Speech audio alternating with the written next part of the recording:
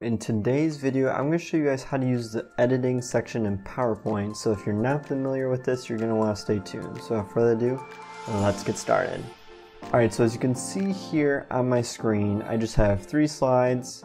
They're all mountain themed. This is what Unsplash was kind of giving me at the time when I was looking for images. So don't blame me too much for the random mountain theme. That's just what I came up with, but this is what we're going to go with. So have some title text here and then some subtext and then I have the same type of text on each slide. Alright, so this is where the editing section comes into play.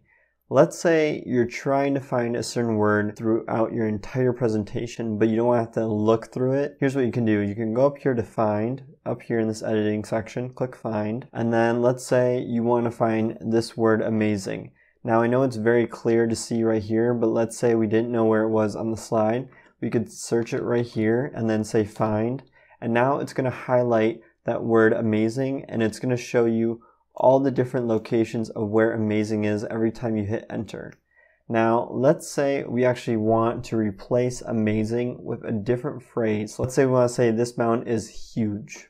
So what we can do is we can do replace, and then we could say huge, and we can even capitalize it if we want to do that as well. And then we could either just replace this text right here, or we could replace all the words that include the word amazing in your PowerPoint presentation. So we're going to actually go with this option, and now it's going to say PowerPoint searched your presentation and made three replacements. So you can see here, the text amazing is now showing huge. It said it made three replacements, so I hit OK. And now as I go here, I'm gonna actually see the word huge here and the word huge here as well. Now, if there was the word amazing somewhere in this paragraph, it would also change that word to be huge as well. So another thing to note in this editing section is that after we did this whole find and you find the word and then you can, it highlights it and you can discover where it is on the slide and then you can also replace it. Oddly enough, PowerPoint provides you the same exact feature right below it just in case you weren't able to find it in this find feature. So you can hit replace right here and you can do the exact same thing that find did as well.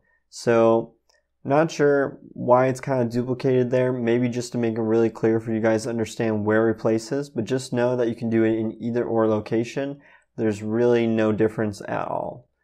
And then if I hit this drop down menu, you can actually replace the fonts. So that's a little bit different than the find section. So if I hit replace fonts, let's say I want all my Arial fonts to now be Lato.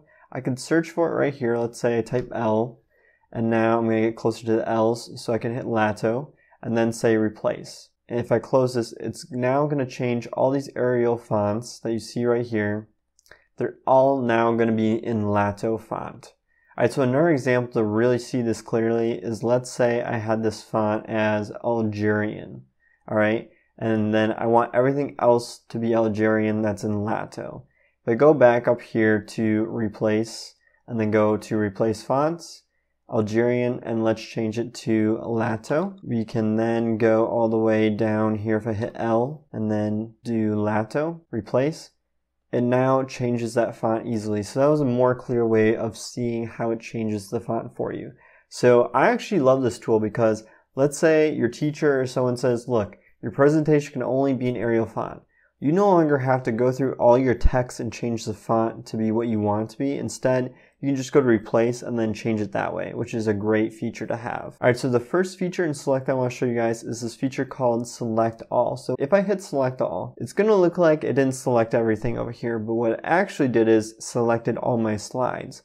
Because the thing is, is that I clicked on the slide right here and then I went here to select and I hit select all, which highlights all these. Now let's say I'm, I clicked into my slide, so I'm clicking right now into my slide and I'm on slide one, and then I hit this drop down menu and then hit select all. It's now going to select everything on my slide. So just know if you're wondering why it's not selecting everything on your slide, that's probably why, because you probably just clicked on your slide, but not on the actual physical slide yet. Another way to select everything on your slide is you can just do Control A, and that's going to select everything on the slides, or if you do Control A after clicking on your slide, you can select everything on your slide as well. So I would recommend memorizing that shortcut. It's just a lot quicker way instead of having to go all the way up here, hit this drop down menu, and then hit select all. Another thing I want to show you guys is select objects. So I was actually personally trying to figure this out. And if you guys know the answer to this, let me know in the comments. I'm always trying to learn, but I actually didn't understand how this select objects functionality really worked. So I know that you can highlight things if you just click and drag and that's how you can select objects. I'm guessing this is the same functionality that that allows you to do because it says select objects including ink, shapes, and text areas. This is especially useful when working with objects that are behind text. So if I were to, let's say, pretend I put a shape here and I put it right here and then this text is over it and I said bring to front and I just had it behind here like that. It's going to be a little hard to click this object with this text in front of it. So what I can do is I can click and drag and then highlight just that object and that's how I can select it and then I can move it out of there. So I'm guessing that's the same feature as select objects, but let me know in the comments if I'm wrong. I would be happy to learn if it, there's a different way of using this functionality right here. The next feature is selection pane. So as you saw in my previous video that you see right here, I actually went over the entire drawing section in PowerPoint and you can actually get the selection pane right here as well, but they also offer it to you right here.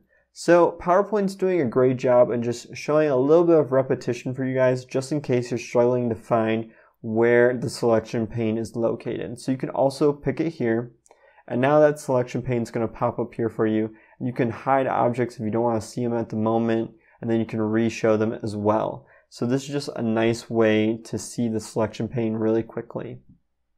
Alright, so that is everything in the editing section in PowerPoint. If you guys did find this helpful, make sure you give a thumbs up, and if you could subscribe, I would greatly appreciate the support. Also, if you guys are interested in learning all things related to PowerPoint, I do have a course on Udemy, so make sure to check out the link in the description below for that. I hope you guys have a great rest of your day, and I hope to see you guys in future videos. Thanks.